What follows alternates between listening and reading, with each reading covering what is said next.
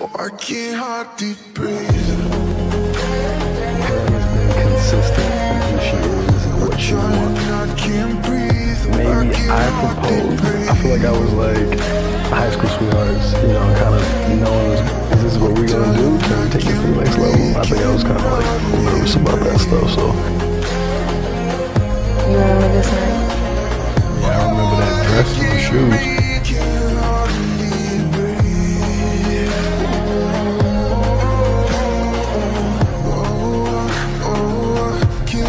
You.